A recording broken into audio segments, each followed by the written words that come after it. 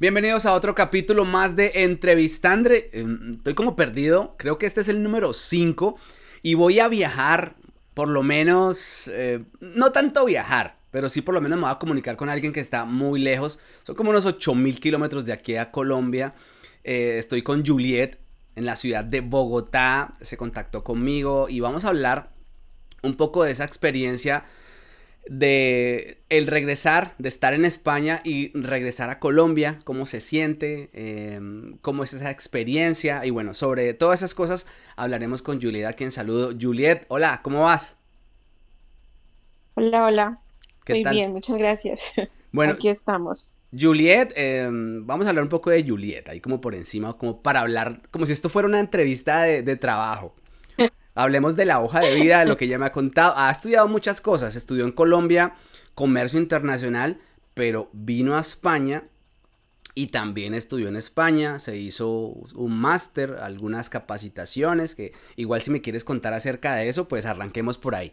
Eh, bueno, pues sí, efectivamente soy profesional en Colombia en comercio internacional. Llegué a España y allí eh, en sus momentos o cuando ya se logró una estabilidad pude Mm, hacer un máster en dirección de marketing y ventas, después hice una especialización en psicología positiva y dentro de todo ese camino, eh, en ese momento fui voluntaria en la Cruz Roja, lanzamos o hicimos, creamos un proyecto muy bonito y debido a ello me becaron como interventora social. Mm. Eh, tenía que tener el proyecto em, algo, o sea, profesional social y el proyecto lo estábamos manejando solamente inmigrantes entonces eh, para ellos tenía que haber alguien. En ese momento, em, o sea, cuando yo llegué a la Cruz Roja, a ver, es que son muchas cosas. Cuando llegué a la Cruz Roja, em, yo llegué pidiendo ayuda y resulté ayudando. Sí, bueno, pero no te adelantes tanto, no te adelantes tanto que ya vas muy adelante en esta historia. Yo, yo, yo lo primero que te quiero preguntar es, cuando decides venirte para España de Colombia, ¿cuál es esa motivación? ¿Cuál es tu plan? de decir, arranco para España, cuál era el motivo a trabajar, a estudiar, cuál era ese proyecto y ese sueño y lo que tenías en mente. Pues ya estaba graduada como, eh, de comercio internacional, marketing internacional, y como que yo decía, bueno, qué bonito poder tener, o sea, en medio de mi ingenuidad y mi ignorancia quizás, eh, que decía, qué bonito poder tener una experiencia laboral eh, en otro país, en mi carrera, qué bonito poder estudiar en otro país, eh, eh, o sea, arraigado o lo que sea, pero pues que sea en otro país. Ese era, eh, hasta ahí. Esa era mi motivación por tener una experiencia allí y obviamente como llenarlos de esa cultura, de otras personas, poder aprender, intercambiar, o sea, eso, prácticamente eso es la motivación. Y entonces arrancas, coges maleta, estabas soltera, dejaste novio, eh, ¿cómo, fue ese proceso? Dejé novio. dejé novio, dejé novio, pero bueno, él me apoyó. Yo dije, vamos a ver qué pasa. Empecé, en ese momento yo trabajaba en Colombia en una entidad financiera. Eh, fue muy curioso porque cuando ya prácticamente tenía el viaje listo, entonces ya, ya estaba yo graduada, entonces me iban a hacer como el proceso de ascenso. Y yo dije, no, yo me voy.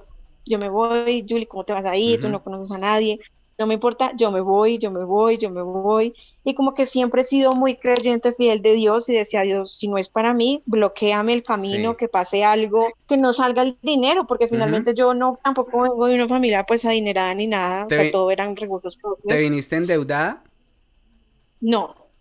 Yo trabajaba en la entidad financiera, allí ganaba por comisión y en esos últimos tres meses me fue súper bien, tenía para el viaje, tenía para tener dinero allí algunos meses. O sea, como que yo decía, me llevo algún dinero para pagar la renta, riendo unos tres meses de turista. O sea, inicialmente yo decía, bueno, pues si no me sale nada, pues a la final me vengo y no pasa nada. Te regresas. Pero ven, tú dices que eres creyente de Dios.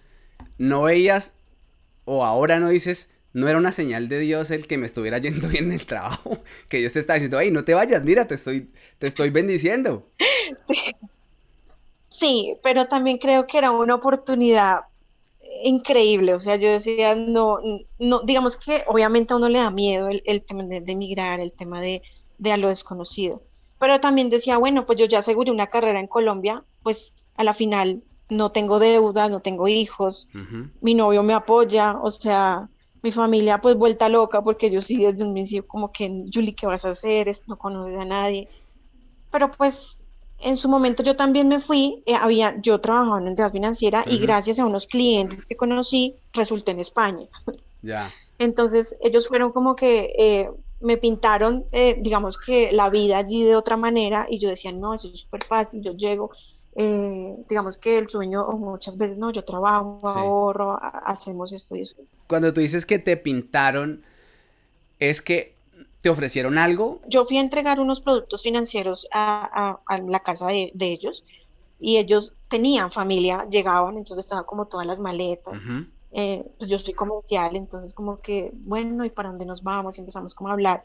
Y allí se creó como una, como una amistad y ellos igual se fueron para, para España. Seguimos igualmente en contacto y ya como que yo empecé a preguntarles eh, cómo es España, y si yo me voy, qué pasa, y cómo es el tema laboral. Cuando te digo que de pronto Te picó el bicho. Me pintaron otra, de pronto me pintaron otra, otra, otra vida, fue pronto, no, tú llegas aquí, aquí ya tenemos trabajo, eh, todo como muy fácil. Te la pintaron fácil.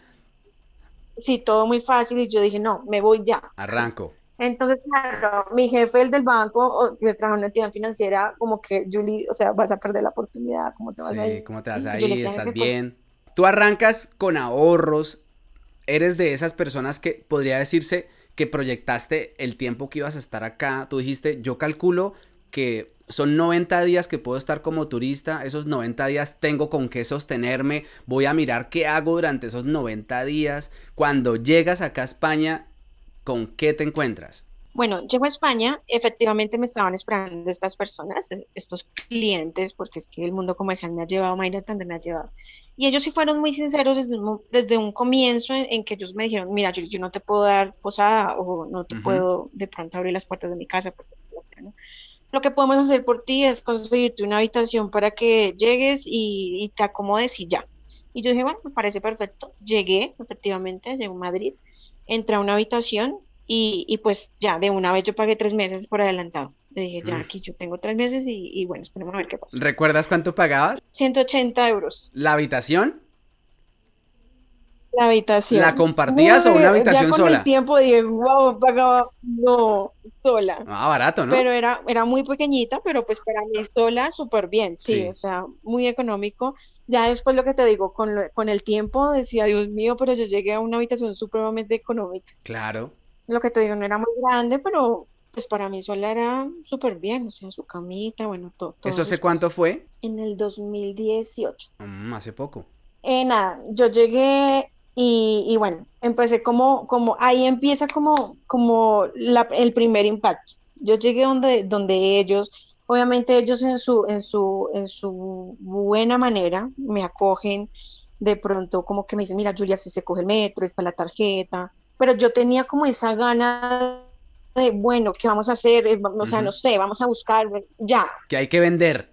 Ellos estaban, ellos ya estaban de pronto eh, trabajando en, de pronto en construcción, eh, en otras, en, las chicas trabajaban pues en, limpieza, que es como el, trabajo coloquial de allí, normal. Eh, empezaron como a recomendarme, yo decía, bueno, normal, pero pues yo decía, bueno, si tengo que empezar así, yo lo, lo empiezo de verdad con el amor del caso, pero yo no vengo a eso. Entonces cuando yo hablaba así, como que todos se me venían encima. Eh, mira, y literal, o sea, literal, y me vas a perdonar lo que te voy a decir, pero me, me, decían, mira, tú eres, tú eres colombiana y aquí somos o, eres puta o eres sirvienta porque aquí no hay nada más. Y yo decía, no puede ser.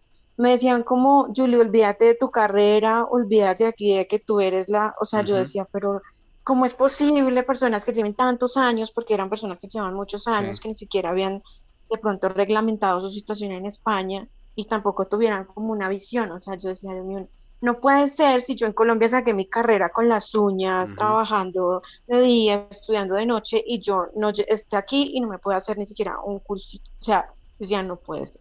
Todo el dinero que ellos trabajaban de pronto era como para licor, como para la mm. vida nocturna, todo chévere, la fiesta, la rumba, y yo no, yo decía, no puede ser que se gaste la plata así eh, entonces como que empezamos ahí, como que yo empecé a darme cuenta que no, no hacía parte de, ese grupo. Ellos, ellos no vivían contigo, ¿no? Eh, ¿Vivían en otro lado? No, no, no, ellos no vivían, oh. ellos vivían en otro lado, sino que Pero éramos como, pues, sí, como ahí mismo. Como tu, tu parche. Sí, sí, sí. Como obviamente esa primera, esas primeras personas que pues mal o bien eh, me, me, tendieron por lo menos la mano. Pero claro, ya con los días, pues entonces yo no, o sea, no me sentía cómoda, eh, e, el panorama era totalmente diferente, trabajaban como al diario y todo lo que ganaban pues era como licor, fiesta y sentía que yo no, o sea, no, no, pertenecías ahí. E, ¿Y tú en ese tiempo, cuánto tiempo había pasado? ¿Empezaste a buscar trabajo? ¿Qué hiciste? ¿Cuál fue tu plan al llegar? No, te digo, eso fue, eso fue, te digo, en cuestión de 15 días. En ese momento yo dije, no, tengo que moverme sola porque, porque pues desafortunadamente yo no, no estoy así. Sí. Me acuerdo que ellos me ofrecieron un trabajo para trabajar recogiendo escombro. Mi padre cuando yo era pequeña, pues él hacía su casa y a todos nos ponía a trabajar. Y yo dije, bueno, pues voy a trabajar. Y yo me fui y me pagaron 50 euros, mis 50 euros trabajando. El día. Me fui a trabajar compro, sí. En la rusa, en la rusa, en la rusa que llamamos nosotros en Colombia. Sí, sí, así. Eh, recogiendo, yo me puse mi sudadera, me puse, o sea, mi, mi, saco, pues en esas era como como invierno, primavera, entonces todavía había mucho frío. Eh, y no, me fui a trabajar y no, súper bien, pero claro, o sea, al otro día me dolía hasta el pelo. No pude ir a trabajar. me echaron.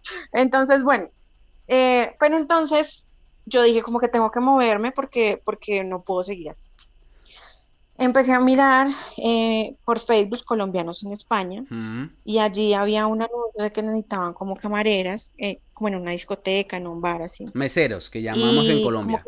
sí, exacto, meseros.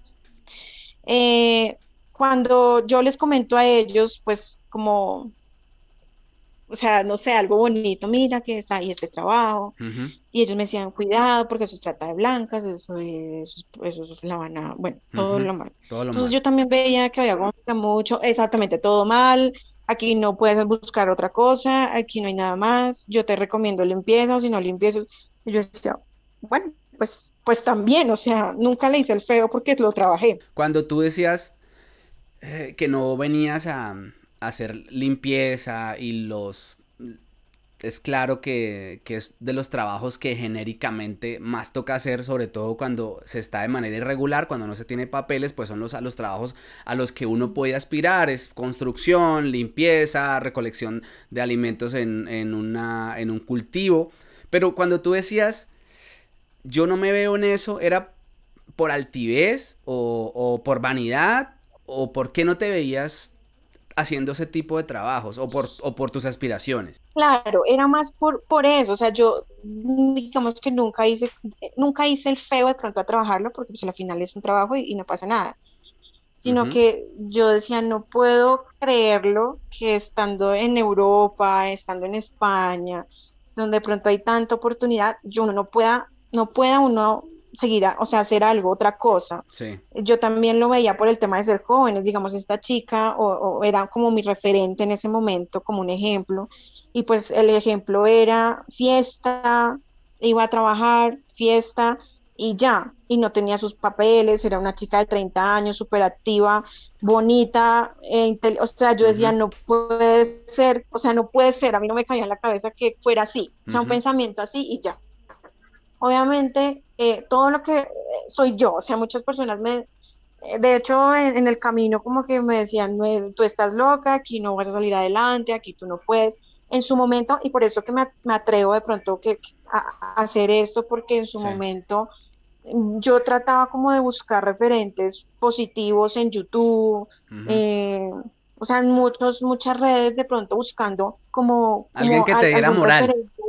Exactamente, o sea, como alguien decir, mira, yo fui inmigrante y me fui así, así, así y, y, lo pude lograr. o sea, solamente encontré un video y fue de alguien de Estados Unidos y yo decía, Dios mío, sí se puede. Y con ese video fue como, como si se puede, tus principales enemigos van a hacer esto, tú debes hacer esto, o sea, fueron muchas cosas y ahorita me atrevo pues porque en su momento quizás yo eh, veía, miraba que de pronto muchos inmigrantes por, por querer ser aceptados en, un núcleo social o en, diferentes situaciones, como que nos perdemos, ¿no? Como que nos perdemos a qué fue lo que fuimos.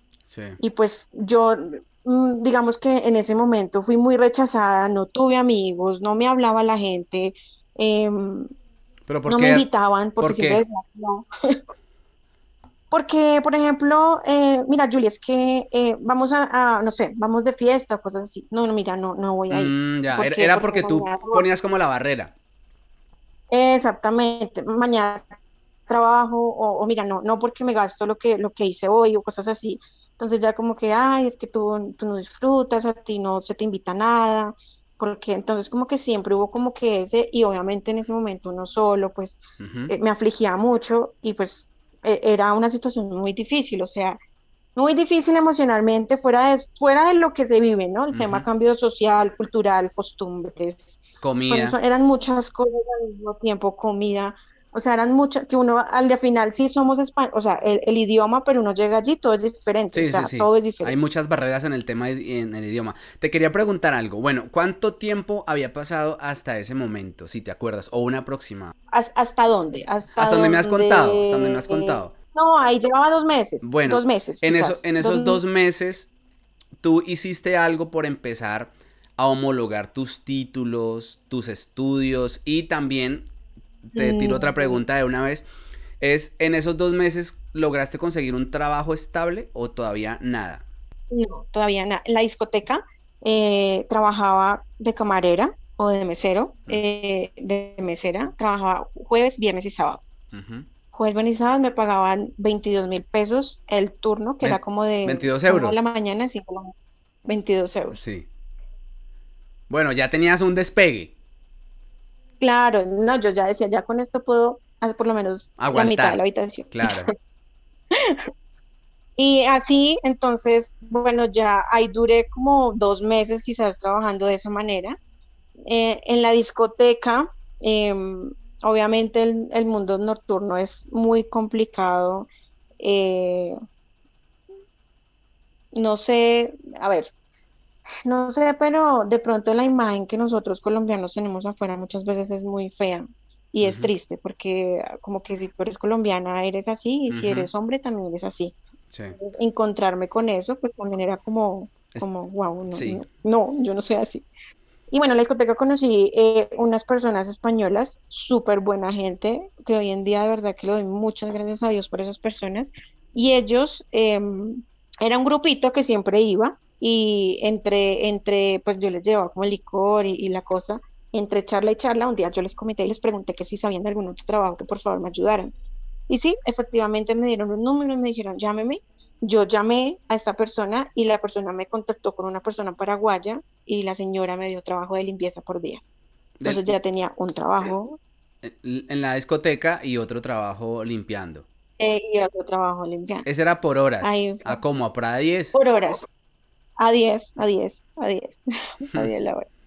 Entonces eran tres horitas, eran dos días a la semana o así, entonces ya pues ya tenía otro poquito. Otro trabajo. Y así. ¿Qué te digo yo? Ya me ha pasado como unos cuatro meses quizás, más, más o menos cuatro. ¿Y el estudio? A los cuatro meses. La homologación, nada. No, había... Nada, todavía... Espérate, hago una pregunta antes de que me sigas contando y, y no quiero que se nos olvide lo del estudio. Tú cuando te fuiste, ibas preparada para, cuando te viniste, eh, iba, venías preparada con tu diploma, con... ¿Traías todos esos documentos listos? Sí, traía el documento, traía el acta, a ver, llevaba lo, primordial, que era el acta de grado, el diploma, eh, y ya.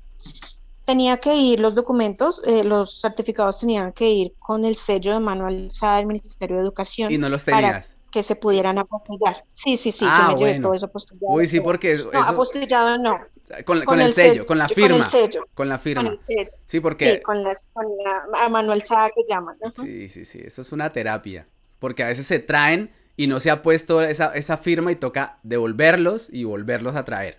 Eh, sí, de hecho, vi muchas personas así con hmm. el trámite. Sí, sí, sí. Eh, y sí, yo me averigué aquí en el ministerio y sí, efectivamente tocaba eh, bueno, me lo llevan sin postillar, pues me dijeron que en el consulado lo podía postillar, entonces, bueno, pues me fui así. Bueno, ahí tenés algo adelantadito. En ese momento todavía no. En la discoteca me quedé sin trabajo.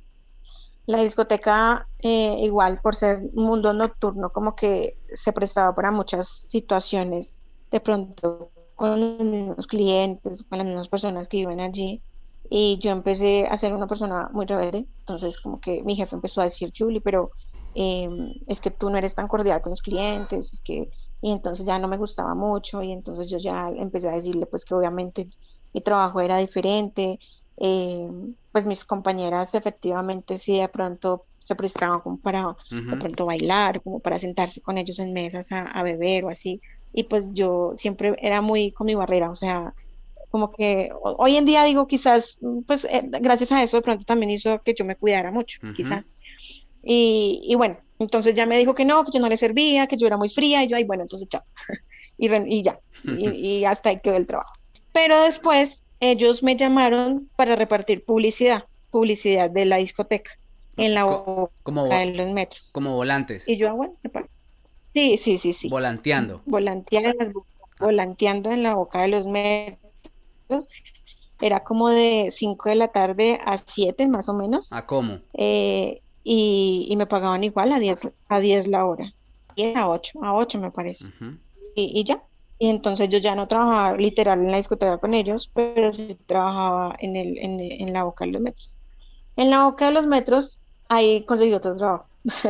¿Cómo conseguiste eh, ese trabajo? Yo estaba todos los días, eh, todos los días pues pasaba la gente y bueno, yo buenos días, buenos días, no sé qué, buenos días, buenos días. Y bueno, y ya la, pues ya habían personas que ya pues me tenían referencia ya, ah, hola, hola, buenos días. Ay, otra vez. Y un día, eh,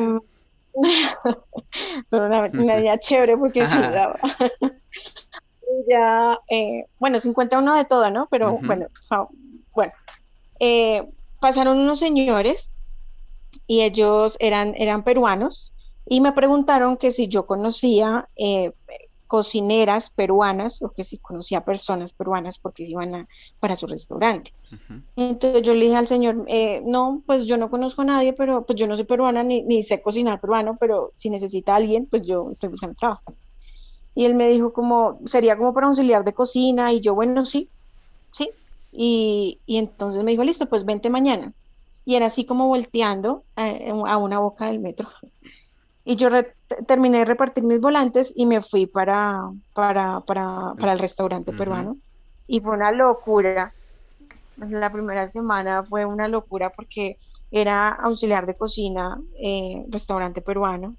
Y allí la señora era peruana y pues ella me decía como que pásame tal y tal y tal. Y yo, hmm, y entonces ya un día dijo, no, es que porque no contratan personas eh, eh, peruanas, porque contratan personas que no saben. Y entonces yo le dije a la señora, le dije, mire, yo, yo quiero aprender, o sea, si usted me enseña rapidito, yo rapidito, pero, pero entiéndame que es que si yo le digo a usted cosas colombianas, usted no va a saber. Entonces ella como que, ay, bueno, bueno, eh, y la señora así como muy brusca, pero me explicó todo y yo todo lo, lo entendí muy rápido y ya empecé a desenvolverme. Ahí conocí una amiguita que ahí empecé a conocer amistades era la, como la, la cajera, ella es peruana y nos hicimos muy buenas amigas con el tiempo. Eh, y ahí ya después me pasaron como de camarera, ya después me dejaban caja y ya como que hacíamos de todo. Ya después ahí ya trabajaba prácticamente jueves, viernes, sábado y domingo. Mm. Me pagaban, me pagaban como, como 300 euros el mes, algo así, eh, y me daban el almuerzo. Pero ¿por qué tampoco? o sea, 300 euros porque ¿Trabajabas pocas horas?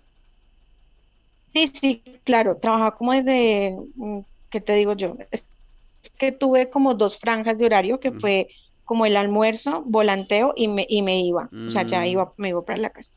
Y el otro, la otra franja era como de, que era como jueves, viernes, sábado, domingo, que era como de 5 de la tarde, ya como hasta las 11 de la noche, algo así, más o menos. Sí, igualmente todo el mundo decía que era muy poco, pero pues yo decía, bueno, pues, pero para estarme en la casa, hagan, bueno, pues no importa. Y un, despeguito. Tenía el otro, tenía el, sí, claro. Y ahí pues ya fui conociendo más personas, em, fui eh, ya al tema del trabajo, de pronto uno va también con una inocencia, como que todo es tan, tan, tan fácil, como que de pronto todo es tan rápido, y pues ya con el tiempo, entonces bueno, eh, ese restaurante quebró, o sea, ya con el tiempo, ah, no, no, eh, entraba como verano y el señor fue muy amable conmigo y me dijo, mira, Julie, ya nos viene de pronto el tema de la inspección y todo este tema, y dijo, yo no te puedo tener acá sin papeles. Y yo dije, bueno, entonces yo dije, pues viene el verano, quizás viene más trabajo. Eh, y no, no fue así. Ahí entré como en un choque emocional porque me quedé sin trabajo, no encontraba trabajo por ningún lado, ya no tenía dinero, ya estaba yo en una situación súper mala, ya, eh, ya me entró como el desespero de que tengo que hacer algo, La eh, presión. no estoy haciendo nada. Sí, ya como que eran muchas cosas juntas. Y en ese desespero ya no tenía que comer, o sea, como que el tema emocional, el choque cultural, o sea, yo creo que eso es lo más fuerte y qué bonito no poder aceptarlo, porque en, esos, eh, había, hay una página que se llama Myriadets, eh, es una plataforma como que europea, donde uno puede hacer cursos y los avala diferentes universidades españolas eh, a nivel nacional. Entonces allí, yo la verdad que no me acuerdo cómo llegué, pero el tal fue que me hice un curso que se llama Cambio Sociocultural y ahí entendí muchos temas del cambio social, cambio sociocultural, el choque emocional que, que, entonces, o sea, ¿Tú, me, uno, tú me eh, puedes enviar ahora el link de, de esa página que me dices si todavía está vigente y la dejamos aquí también en la descripción si se puede, porque sí, claro. en Facebook como no se pueden dejar muchos enlaces. Espera, antes de que sigas contándome, tengo una pregunta. Cuando estabas en ese momento tan, tan duro, que ya sientes la presión de se me vino la riendo y no tengo con qué, me llegó la hora de comer algo, ya me tocó empezar a, a, a, comer galleta María todo el día.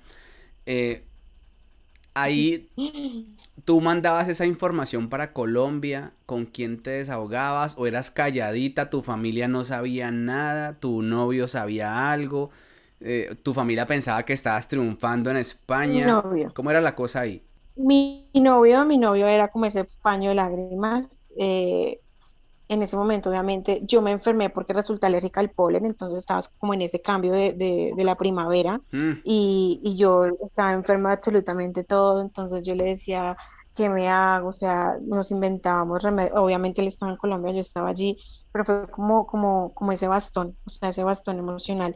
Sí, mi familia sabía algo, pero o sea, sabía de pronto que no estaba trabajando eh, en lo mío, ni que, o sea, yo sabía que yo estaba trabajando en construcción, supieron que estaba en el tema de, de, de, la discoteca, por ejemplo, ellos o mi padre en su momento, eh, mi familia, cuando yo le comenté a estas personas que me recibieron que había la posibilidad de trabajar de camarera en, un, en una discoteca, ellos eh, como que no, Julie, no vaya, no sé qué, entonces como que todo era malo y yo hablé con mi familia, les comenté y ellos me dijeron, mira, Julie, vete temprano y tú te das cuenta, si tú, tú ves, o sea, ves el movimiento, si de pronto tú ves que de pronto pues no es algo así como muy confiable, pues te, vas. Y si es algo pues bien, pues, pues, pues vas y das la cara y preguntas y ya.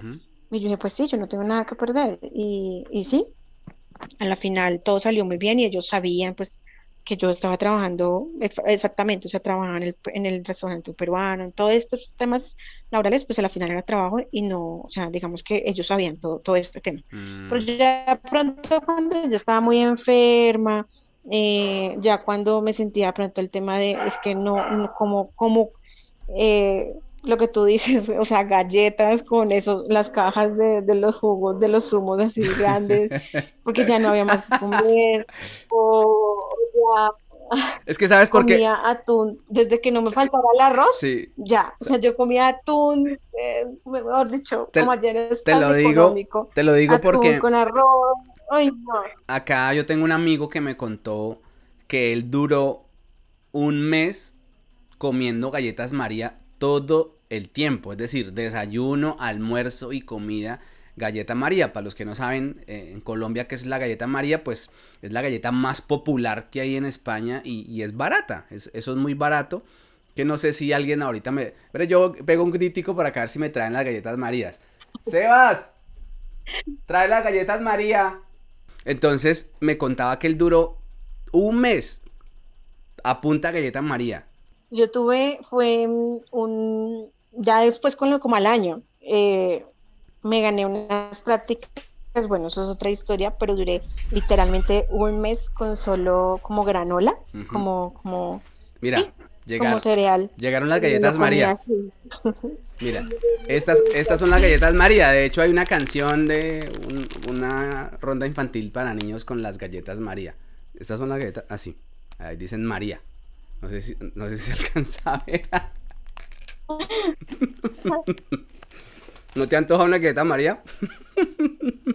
Sí, muchas cosas, la verdad. Bueno, pero, pero no, nos desviemos.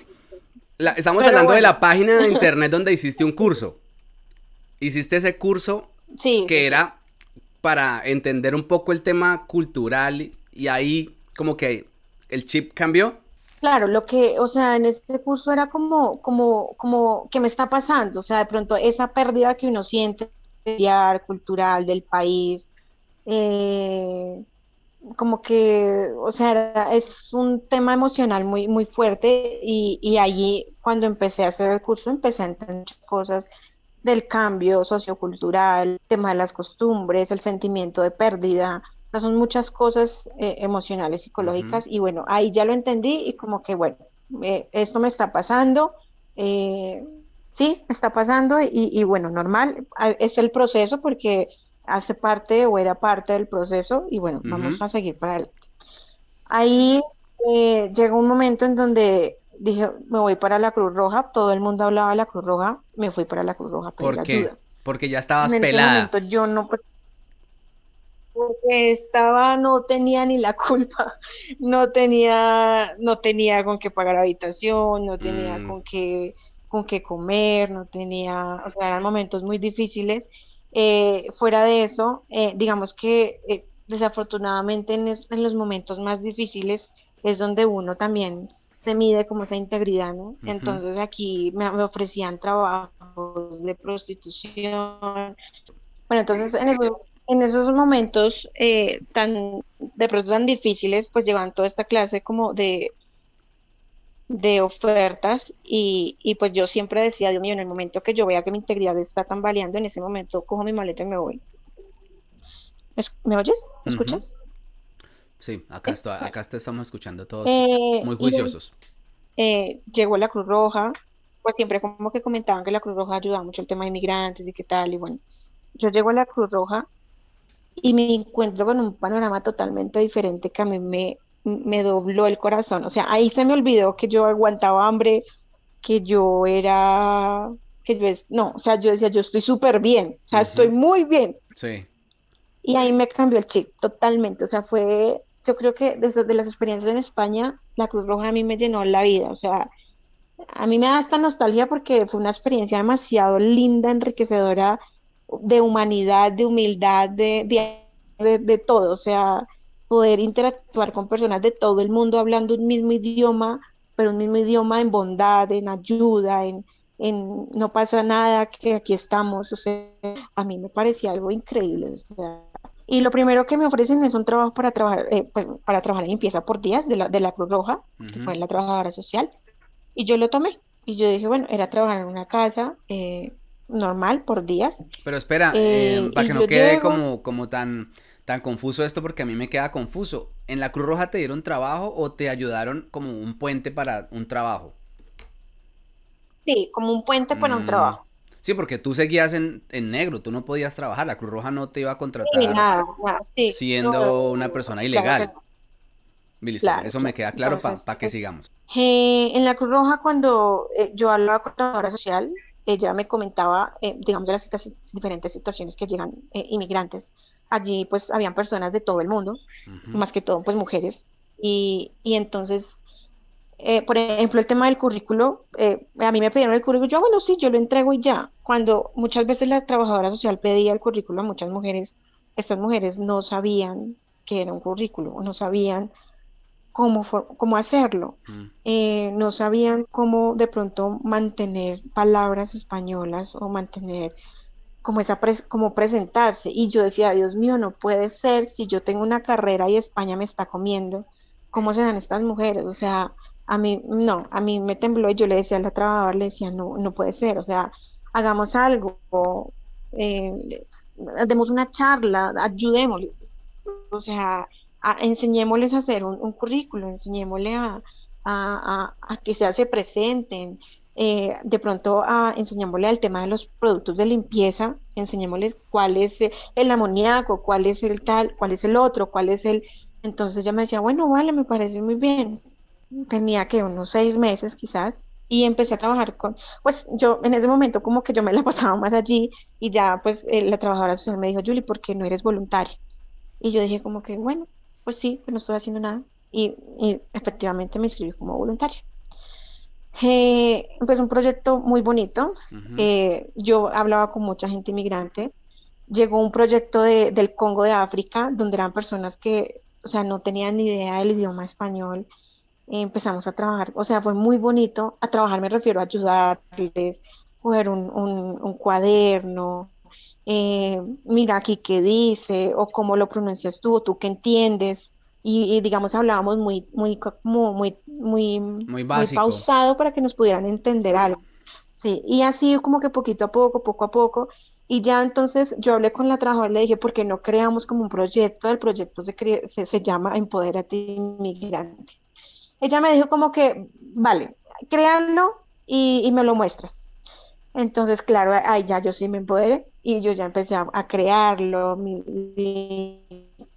mis diapositivas, eh, eh, expliqué todo el tema del cambio, el tema que yo ya había vivido, el tema emocional, qué era lo que nos estaba pasando en ese momento, por qué estábamos pidiendo ayuda, cuál era de pronto nuestro foco de llegar a España, cuál era de pronto el tema cultural, cuál era nuestro objetivo, todo de pronto el, el, el, eh, el camino empiedrado que, que, se vive en ese proceso, pero que si lo pasamos, pues a la final vamos a lograr lo que queremos lograr. Y cuando a mí me, pidieron, mira, Julie, eh, ¿cómo, ¿cómo lo vas a decir? ¿Cómo lo vas a exponer? Y yo pues estaba con las directivas de la Cruz Roja y yo les decía, mira, nosotros todos los inmigrantes venimos por un objetivo que es salir adelante, todos venimos con un objetivo que muchas veces es ahorrar para enviarle a nuestras familias o muchas veces es ahorrar para llegar a nuestro país y comprarnos algo, eh, algún inmueble o demás. Otros simplemente es poder tener los documentos para traernos a nuestras familias. Ese es el objetivo, o sea, finalmente es eso. Pero claro, cuando uno llega aquí y uno se ve todo tan diferente, el tema legal, porque eh, el tema legal también lo pintan muy fácil, tú vas a una comisaría y te lo dan, tres años te dan los papeles, pero hay personas que llevan años y finalmente no, no, no han podido, porque no solamente es cumplir el tiempo, es que tú tengas un trabajo, que tengas un contrato, que son muchas cosas y desafortunadamente uno como inmigrante no tiene ni idea. Entonces, decía, si estas personas llegan aquí, pues que la Cruz Roja sea como, como ese bastón de inmigrantes, de, inmigración. Yo, yo no tenía papeles, mm. pero yo me iba a presentarme a entrevistas a empresas comerciales. Tuve entrevista con muchas empresas, yo no sabía ni cómo llegar y yo me, me iba hasta allá. Eh, Aún sabiendo que no te iban a dar el trabajo. Claro, yo no tenía ni idea, o sea, yo sabía que no me iban a dar el trabajo, pero yo no tenía ni idea de cómo era el tema laboral allí. Mm. Y yo, ah, no, mira que te llamamos para una entrevista, yo pasaba pues mis, mis, mis currículos por eh, mil anuncios, eh, bueno, por varias, y me llamaban, yo decía, sí, yo voy, y yo llegaba allí, y las oficinas, y yo decía, Dios mío, en algún momento en la vida yo tengo que estar aquí. Y yo llegaba de hacer limpieza, me bañaba, me arreglaba y me iba para mi entrevista. Y cuando, eh, y muchas veces me llamaron dos veces para trabajar, mira que ya puedes traer documentos. Y yo, ah, bueno, vale, gracias. Hasta ahí llegaba y yo, Sí, sí se puede. Pero para mí era una motivación que claro. así se puede en cualquier momento, claro que sí se puede, vamos, o sea, yo decía, sí se puede. Entonces, eso me impulsaba. Te das moral. Claro, entonces yo le decía eso a, a, los, a, los, a los de la Cruz Roja cuando estaban presentando el proyecto. Cuando llegue ese momento, tengan un cartón, llegan, tengan algo. O sea, aquí sí hay muchas herramientas. El tema es que desafortunadamente es muy invisible. Desafortunadamente no hay como como, como, como ese tema informativo, pues así, no lo hay. Entonces, qué bonito que cuando lleguen aquí vean que aquí tienen un apoyo no solamente en laboral, sí, pero también en formación, porque es que por lo menos yo estoy formada, pero no tengo muchas cosas del tema de España cultural. En ese momento, em, yo les comentaba que yo era profesional en comercio internacional y y ellos me pidieron todos los documentos para homologarme la carrera y la Cruz Roja me pagó la homologación de la carrera. con el cheque, con todo, o sea, yo no lo podía creer, o sea, yo dije, bueno, a mí me dijeron, tráeme todo el pénsul de la universidad, obviamente yo no me llevé pénsul, no me llevé nada. Yo cuando estaba en la universidad en Colombia era muy amiga de los, de los vigilantes, o lo, como llaman allí, ¿cómo es que llaman? Los... Guarda de seguridad. ¿O qué? Sí. sí, sí, sí. Y eh, yo los llamé por Facebook, les dije, mira, por favor, necesito que me ayuden. Eh, nosotros nos sentábamos cuando estaba estudiando, nos sentábamos todos a comer arepita relleno, nos o sea, éramos muy bien. Y cuando desde España los llamé, les dije, por favor, necesito que me ayuden, eh, envíame estos documentos. Y sí, literal, ellos me ayudaron, pusieron la universidad, pasa, o sea, la universidad, a mí me llamó el decano de la universidad, señorita Rojano, ¿tú qué es lo que quieres? Que, que aquí todo el mundo me está hablando que tú necesitas los documentos, pero es que y yo le dije, ay, profe. Entonces yo le, ya él me ayudó, ya cuando mi hermano fue a pagar, pues ya efectivamente todos los documentos estaban listos, me enviaron los documentos y yo todos los envié a la Cruz Roja y allá todo, ellos se encargaron absolutamente de hacer toda la homologación. Me dieron el cheque, yo llevé eso al Ministerio de, Educación y listo. Entonces, como que ahí se, ahí se fueron abriendo un poco las puertas, pero claro, en ese momento yo no pensaba literal en, comer, o sea, a mí como que se me, me cambió el chip, o sea, fue totalmente diferente. Ya llevaba, que Como unos siete, quizás, en España, unos siete meses, y em, yo seguía trabajando igual eh, con los mismos trabajos que me ayudaba la Cruz Roja como, como, como puente de limpieza, mientras tanto, bueno. Em, y en ese momento yo llevé todos los documentos, pero ya me dijeron que la homologación se demoraba un año o tal vez, pero ellos a uno le colocan como un sello. Ese sello, eh, ellos me decían, con ese sello tú lo presentas cuando vayas a las entrevistas o cuando te exijan el tema de, de, estudios y eso ya de alguna manera como que te respalda.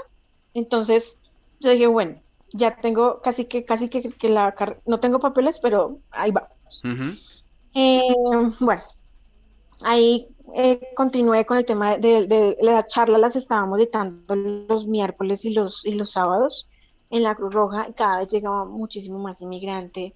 Eh, entonces, eh, había momentos donde, yo no sé, a mí se me despertó una creatividad, buscábamos todo el tema de las caras emocionales, o sea, trabajé mucho el tema emocional. Resulta que ese proyecto se empezó a regar por todas las oficinas de la Comunidad de Madrid. Entonces, allí fue cuando ellos dijeron que necesitaban el proyecto que estuviera avalado por un profesional social. Obviamente, pues yo no era social. Y me dijeron, te vamos a, a, becar con un, bueno, con un, instituto, una, secundaria allí. Un, FP. ¿Cómo es que le llaman? Y, eh, pero lo tienes que sacar literalmente como en tres meses. Tienes que estudiar día y noche. Y yo le dije, yo lo hago. O sea, yo lo hago. Y sí, me certifiqué y ya una vez me certifiqué, pues fue mi firmita y el proyecto se quedó en Madrid, en la Comunidad de Madrid, y se llama Empoderate Inmigrante. Y ya empecé mm. como a dictar, pero era solo, o sea, yo en ese momento no trabajaba en la Comunidad de Madrid, yo no Tú eras voluntaria en la Cruz Roja. Yo era voluntaria. O sea, porque seguía sin papeles. Sí, claro, seguía sin papeles. Y ya llegó un momento en donde em, eh, el proyecto claramente empezó a, rondar por diferentes como oficinas de la Comunidad de Madrid, me invitaban y todo el tema. Pero claro, había un momento donde ya no tenía más dinero y yo hablaba con la trabajadora social y le decía, e-, estos trabajos no me alcanzan, em, cómo, ¿cómo hago? Y ella, eh, yo le, comentaba el tema de los papeles, entonces ya, ya empezó a decirme pues que de pronto había una posibilidad de que me dieran un permiso de trabajo por medio de una fundación que se llama Ana Bella. Y yo dije como que, bueno, esta fundación, eh, digamos que ayuda a todas las mujeres inmigrantes para mi primer trabajo en España, mi primer empleo en España se llama así.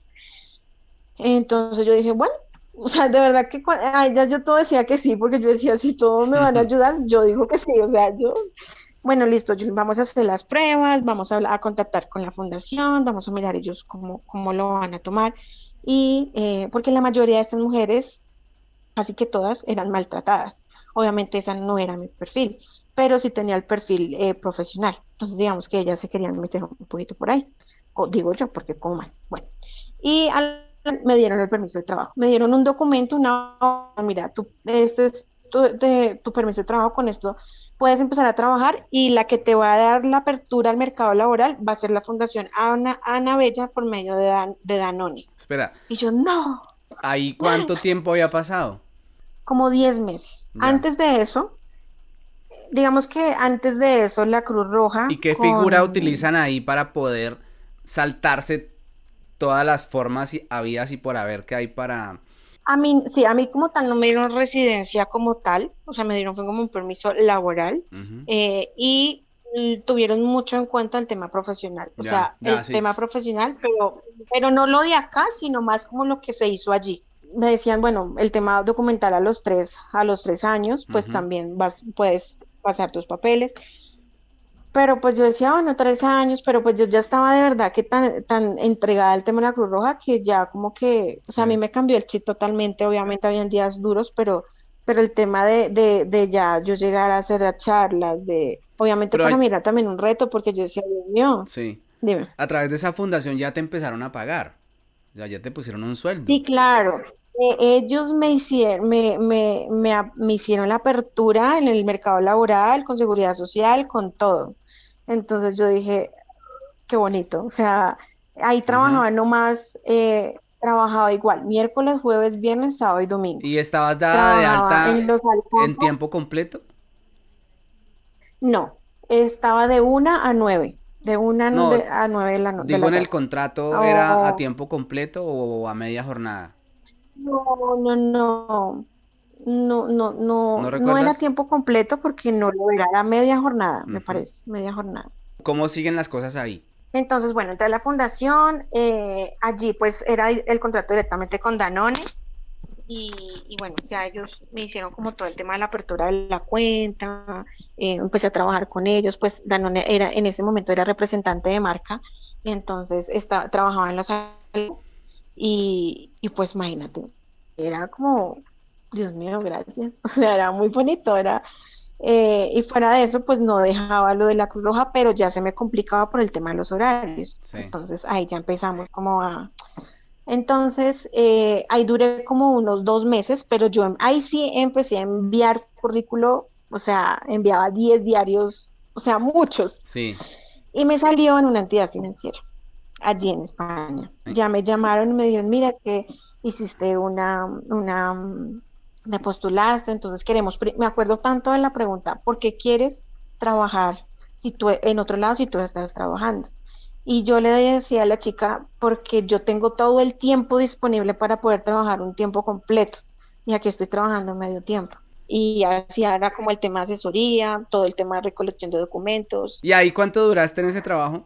Ahí ya duré un año, ahí empecé a estudiar, empecé a hacer el máster, eh, ¿Máster de qué? Trabajaba de día, trabajaba dirección de marketing y ventas. Trabajaba igualmente de día, trabajaba de 9 de la mañana a 6 de la tarde y me quedaba en la oficina hasta las 9, 10 de la noche estudiando. ¿Por qué resulta nuevamente en Colombia?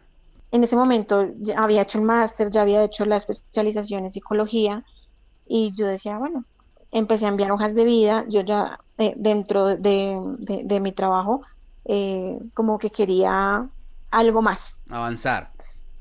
Y, entonces empecé a, igual a, enviar currículo y me salió en la Caixa. Y para mí eso fue, o sea, yo dije, listo, dentro en la Caixa. Entré en la Caixa, em, igual como asesora financiera, y, fue como, como el wow, mm. pero como que fue algo muy bonito, sí, pero yo también como que la estructura laboral de España no me convenció mucho, o sea, como que empecé a tener un equilibrio ahí porque yo decía, bueno, pero, pero pues a la final, si lo comparamos de pronto el tema económico, si yo estoy en Colombia y trabajo en un lugar bien y gano bien, pues voy a vivir bien.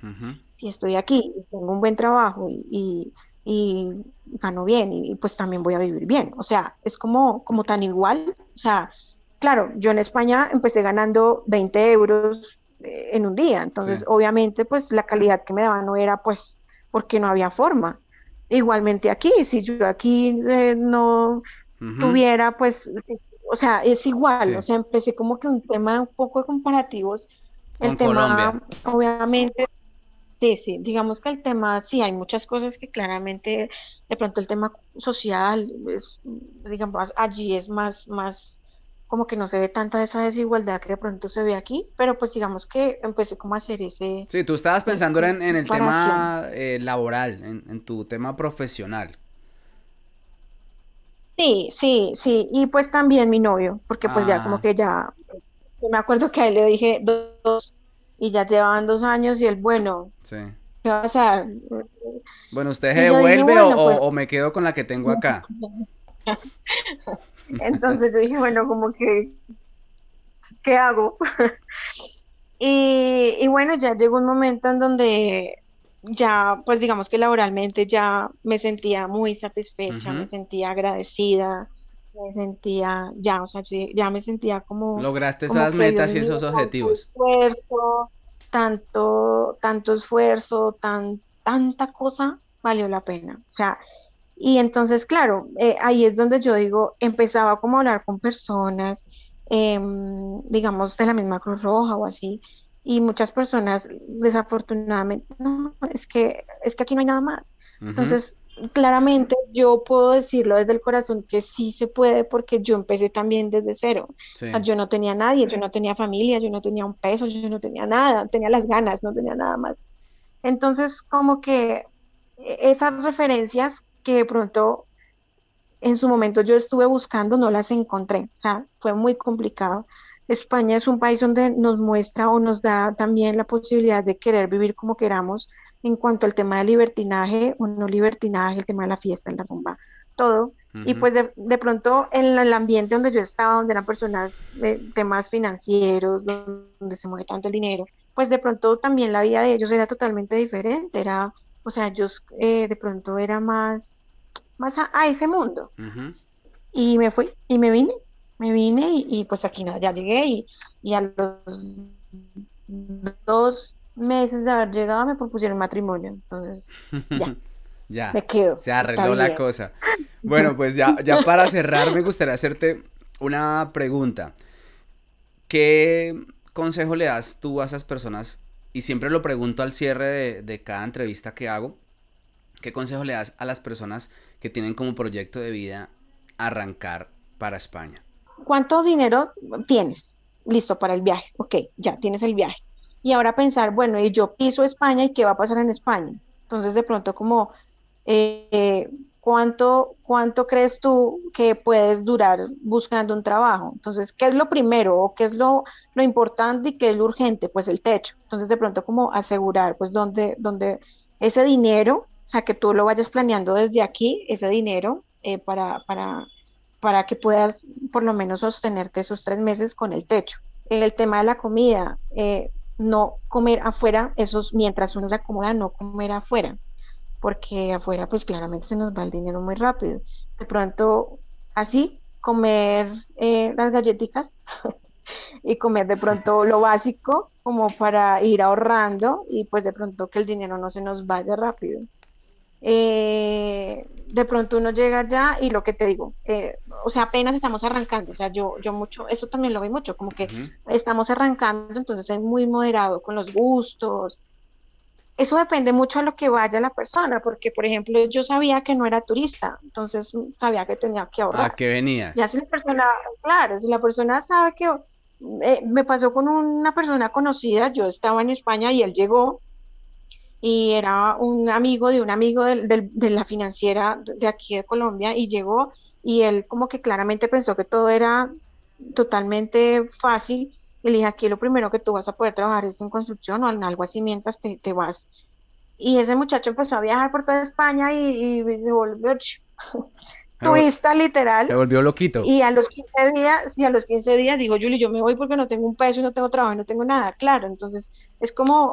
¿a qué vamos? O sea, siempre aquí, aquí, aquí, con esto de aquí. Bueno, pues Juliet, muchas gracias por, por esta conversación, sobre todo porque aprende uno muchas cosas. Yo me quedo con tus consejos, los voy a aplicar, creo que voy por ese camino, pero, pero chévere porque se motiva a uno muchísimo. A veces se queda uno como muy dormido, eh, caen en esa zona de confort, eh, ya sea en cualquier país, ya sea en su propio país, pero uno cae en esa zona de confort. Pues muchas gracias, un abrazo y, que todo siga marchando súper bien en Bogotá, en Colombia. Muchas gracias, de verdad que vuelvo y digo, em, esta fue claramente mi experiencia, eh, fue lo que yo viví, lo viví sola, lo viví a pulso.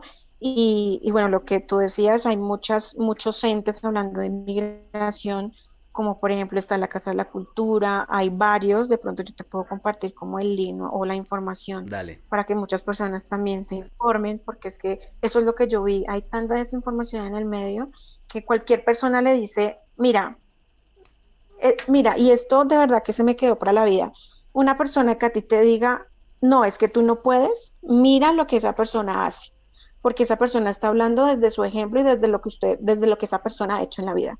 Cuando una persona ha salido adelante, ha luchado, ha trabajado, esa persona no te va a decir a ti, tú no puedes, porque claramente te va a impulsar a decir, claro que sí se puede. Entonces, tener mucho cuidado a quien uno le pide consejos y quién va a ser esa referencia con la cual uno quiere salir adelante. Entonces, por eso te voy a, digamos que a compartir ese link, como esas cosas para que de pronto las personas se informen y que pronto puedan estudiar. O sea, todo eso, que, esos cursitos que yo hice, todos eran gratis, todos solamente es de disposición. Vale. Y pues de querer, de querer. Chao. Gracias. Chao.